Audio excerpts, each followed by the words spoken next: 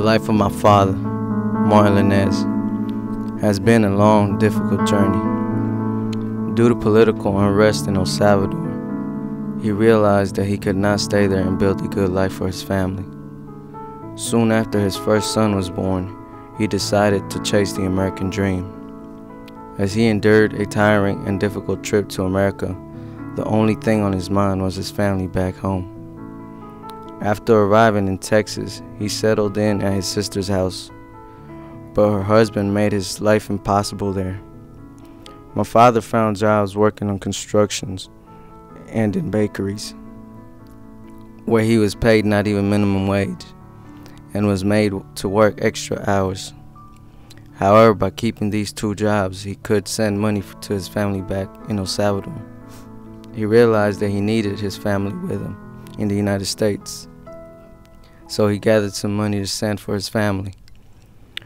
While on his way to deposit money, he saw a man in need of assistance. As my father crossed the street to assist the man, a drunk driver ran a red light and hit my father breaking his arm and breaking his leg in three different places. After he was released from the hospital, he returned to his sister's house. She cared for him for a while until her husband started to make my father clean the floors to pay off his rent. My father soon grew tired of his treatment, so he started going out every day to pick up bottles and cans which he redeemed for money. My father never gave up his dream Step by step, he stayed on the path. Even though my father had both his arm and leg broken, he somehow managed to fight off the pain and make enough money to send for his family and to get an attorney to sue the drunk driver's insurance company. Not long after my mother and uncle arrived to my dad's new house. After a few years, he sent for his son in El Salvador. Not long after my brother's arrival, I was born. My father kept on working his hardest since he now had his loving family with him.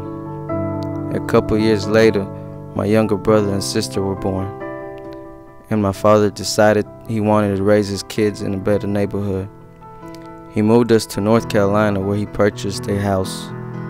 My father now owns two houses in the U.S. as well as two houses in El Salvador and a ranch. He has helped many of his family members financially, even though he had none of their help.